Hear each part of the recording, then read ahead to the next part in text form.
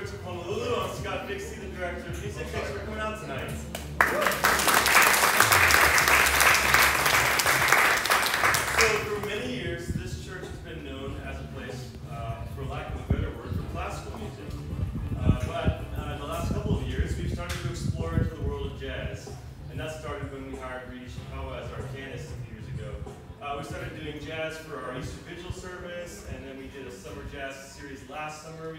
Doing jazz during the pandemic, all in live stream so that musicians could keep working and people could keep hearing music in some sort of live way.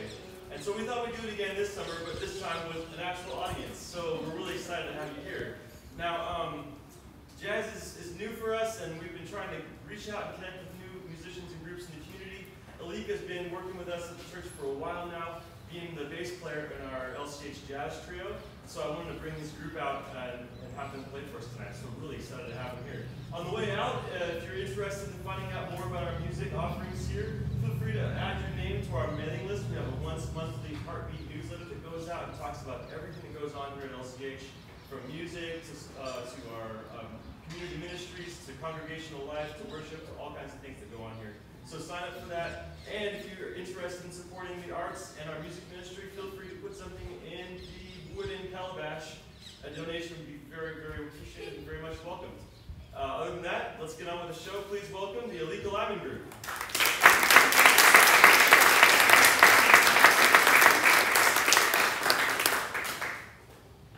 Thank